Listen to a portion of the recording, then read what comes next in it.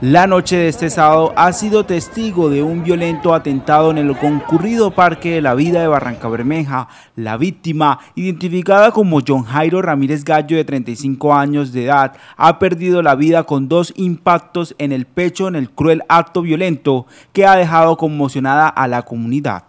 El atentado sicarial ocurrió ante la mirada atónita de todos los que se encontraban en el lugar y ha generado un fuerte impacto en la población. Las investigaciones están en curso para determinar los responsables y aclarar los motivos detrás de este suceso. En la zona las autoridades realizaron la inspección técnica a cadáver, inspección al lugar de los hechos, labores de verificación y activación de fuentes humanas. La víctima tendría anotaciones judiciales por los delitos de homicidio, concierto para delinquir, tráfico de estupefaciente y extorsión.